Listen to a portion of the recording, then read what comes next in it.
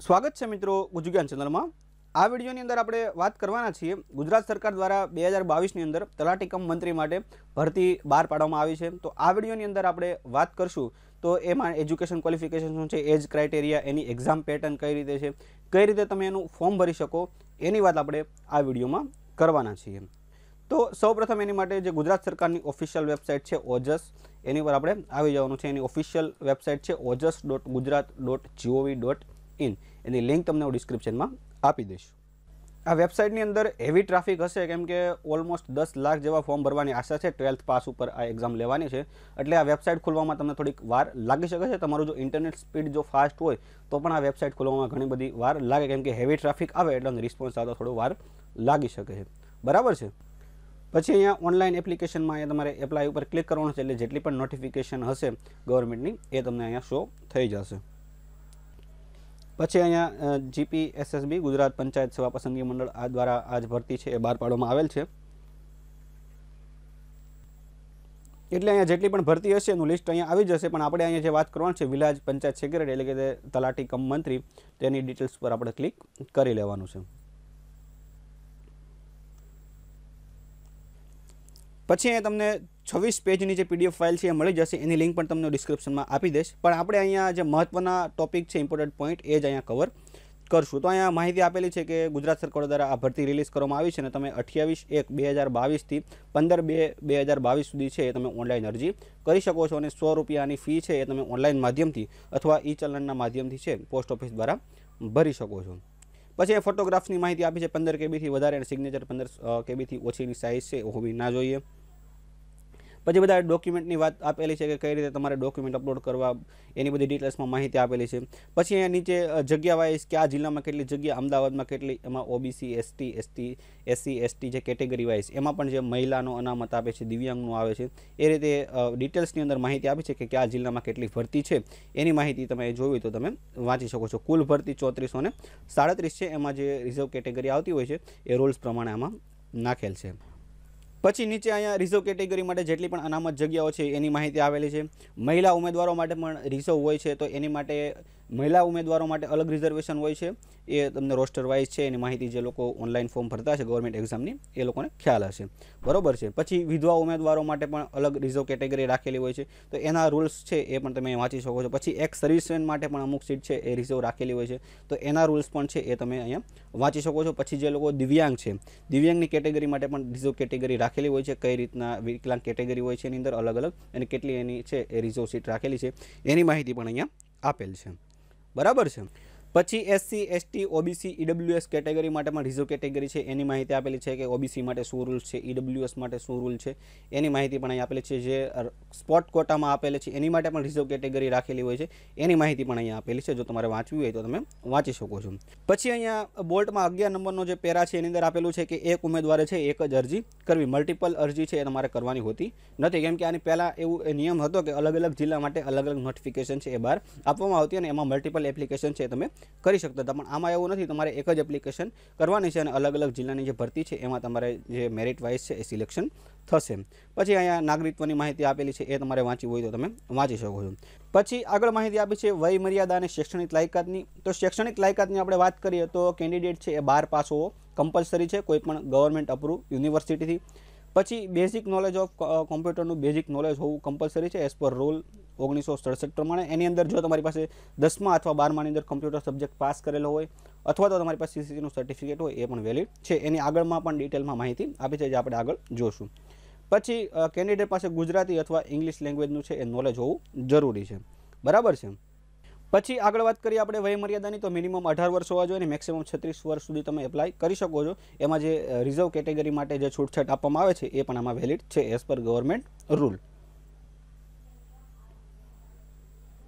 પછી નીચે અહીંયા જે વયમર્યાદામાં છૂટછાટ આપવામાં આવેલી છે એના આવે છે સામાન્ય વર્ગની મહિલા હોય તો પાંચ વર્ષની છૂટછાટ છે અનામત પુરુષમાં પાંચ વર્ષની છૂટછાટ છે પછી કોઈ દિવ્યાંગ હોય તો એ પ્રમાણે અલગ અલગ નિયમ પ્રમાણે છે એ છૂટછાટ આપવામાં આવેલી છે ઉંમરની અંદર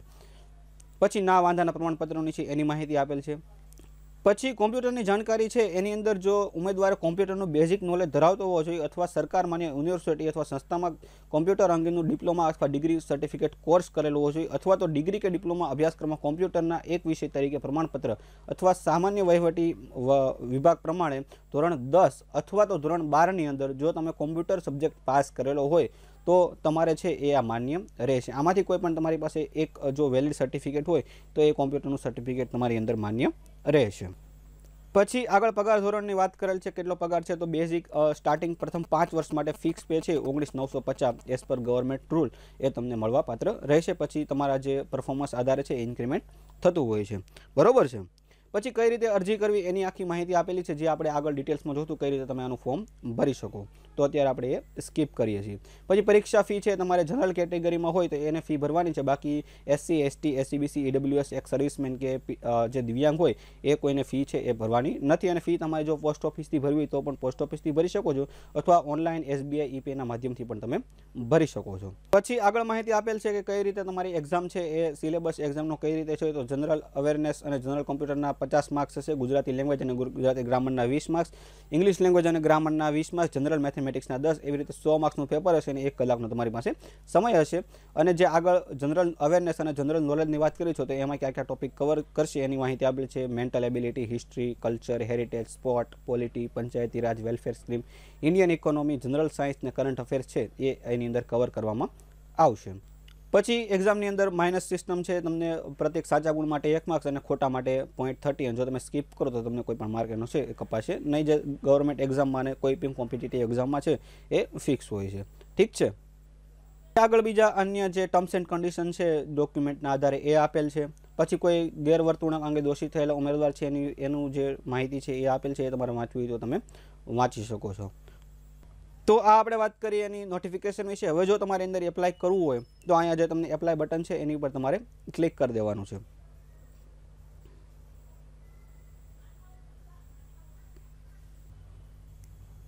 પછી અહીંયા એપ્લાય નાવ બટન ઉપર ક્લિક કરવાનું છે.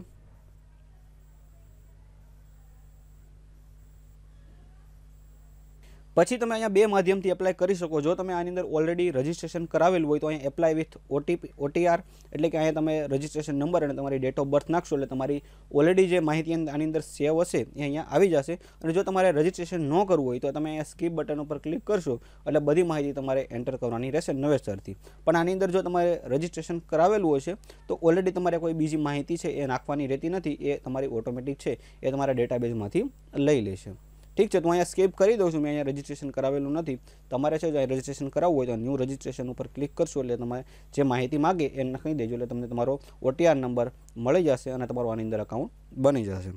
ઠીક છે પછી અહીંયા તમારે ટાઇટલમાં મિસ્ટર મિસિસ જે લાગતું હોય એ લગાડી દેવાનું છે સરનેમ આવશે અહીંયા તમારું ફર્સ્ટ નેમ એટલે નામ આવશે અહીંયા હસબન્ડ અથવા પપ્પાનું નામ આવશે અહીંયા તમારા મધરનું નામ આવશે અહીંયા તમારું જેન્ડર ડેટ ઓફ બર્થ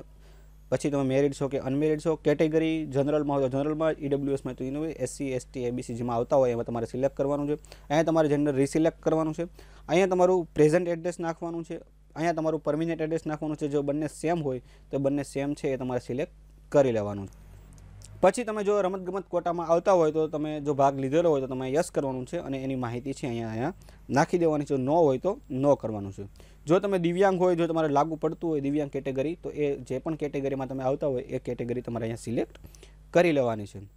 પછી અહીંયા બેઝિક નોલેજ એમાં યસ આપવાનું છે જો તમે અહીંયા વિધવા હોય તો એમાં તમારે યસ આપવાનું છે વિધવાનું હોવાનું પ્રમાણપત્રનો સર્ટિફિકેટ નંબર છે વિધવાની ડેટ છે અને જે પ્રમાણપત્ર ઇસ્યુ કર્યું હોય એનું નામ આપનાર સત્તા અધિકારીનું નામ અહીંયા તમારે સિલેક્ટ કરી લેવાનું છે જો તમે એક સર્વિસમેન હોય તો તમારે એમાં યસ કરવાનું છે બાકી તમારે નો કરવાનું છે પછી જો તમે ગુજરાત સ્ટેટ ગવર્મેન્ટના એમ્પ્લોય હોય તો તમારે યસ કરવાનું છે. તમે કોઈ ગવર્મેન્ટ સર્વિસ અત્યારે ચાલુ હોય હોય તો યસ કરવાનું છે. બાકી અહીંયા તમારે નો કરવાનું છે. પછી અહીં તમને લેંગ્વેજની માહિતી આપવાની છે. ઇંગ્લિશ, હિન્દી અને ગુજરાતી રીડ રાઇટ ને સ્પીક તમે જે પણ કરી શકતા હોય એ તમારે સિલેક્ટ કરી લેવાનું છે. પછી અહીંયા તમારે એજ્યુકેશન ક્વોલિફિકેશન એટલે શૈક્ષણિક લાયકાતની માહિતી આપવાની છે એમાં તમારે જે અહીંયા ઓટો ઓટો સિલેક્ટ આવશે એ સિલેક્ટ કરી લેવાનું છે